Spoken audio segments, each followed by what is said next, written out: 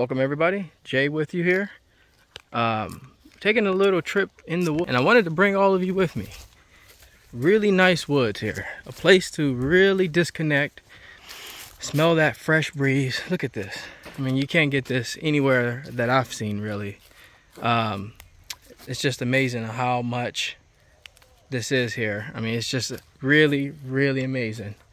Um, look at look at how deep these woods go so quiet and serene. No one to bother you and mess with you. Of course i'm looking forward uh, forward to the nice the oxygen you get. So i want to talk a little bit about humidity. And so speaking of humidity when i'm in here i feel awesome. But out there for sure out outside of these woods look at this I want to talk about how humidity is very impactful when it comes to eustachian tube dysfunction. Yes, it's true. It can really do damage on those eustachian tubes. And so I really want to dive into a little bit of how important it is. And I want to also say that if you're in a humid climate, which I am right now, surprisingly, is why I'm doing this video, is because yesterday humidity reached 81%, if I'm not mistaken. 81%. That is extremely high for me. And when I had eustachian tube dysfunction, I can tell you right now that I wouldn't have made it out of 81%. I would have made it, but it would have been a real, real hard kind of situation to get through.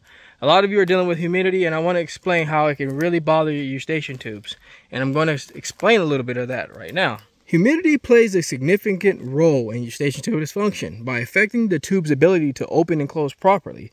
We're going to deal with something called high humidity, which is moisture accumulation.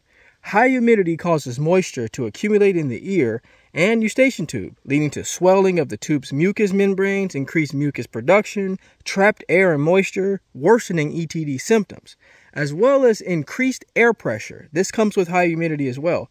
High humidity can lead to increased air pressure in the ear, making it harder for the eustachian tube to open and equalize pressure.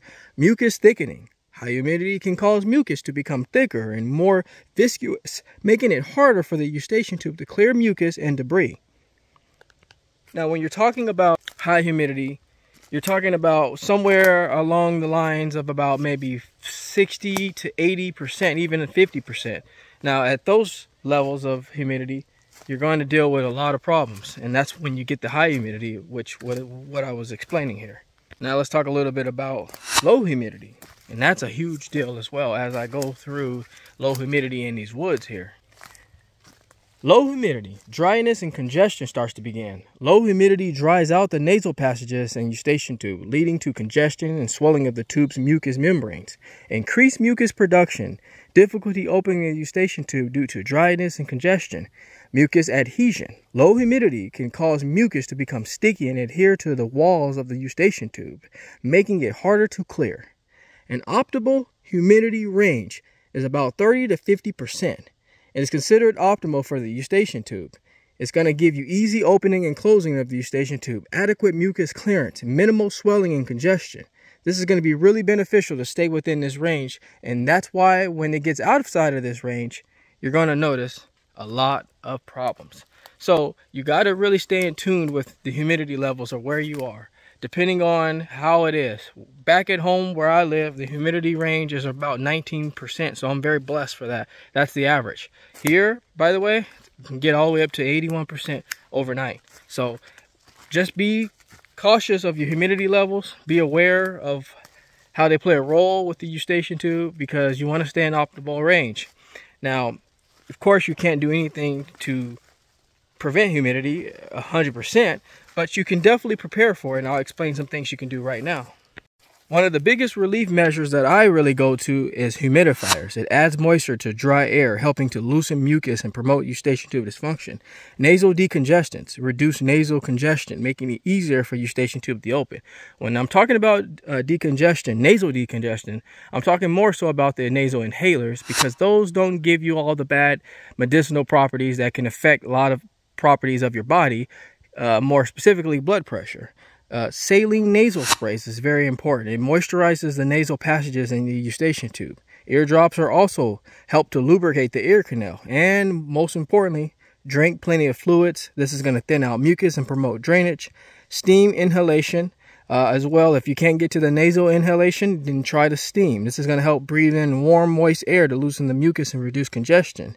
And then you also want to practice eustachian tube exercises. This is going to be something you need to do regularly, like swallowing, yawning, and the Valsalva maneuver. But keep in mind, the Valsalva maneuver is something you should do with caution. As well as you want to be sure if you have any food allergens, which is not usually the case. But if you do, with dairy is going to be one of the things you want to be in touch with because it can definitely increase mucus production. And you also want to be in touch with anyone that handles your care if you're trying anything new. So those are a couple of little things you can do. I'm going to dive more deeper into this uh, category because I think humidity is a huge thing that a lot of people may not be aware of. So as I go through these woods, I want all of you to keep this video in mind when humidity starts to increase. Check in with your local weather channels. Look at your weather. Um, go through your weather channel. Um, it's kind of geeky, but I've been doing that for many years, and it's something that really helps you prepare for what things you may need moving forward. So I hope this video was very helpful for you. If it was, please take time to subscribe to the channel. I try to bring content as often as possible. But in the meantime, I'm going to get out of the woods here and maybe later soon step into my Jaye Wellness Studio and leave you in good hands with this video. Like anything else, folks, we are here to simply go back to the basics. Take care, everybody, and I will talk to you very soon.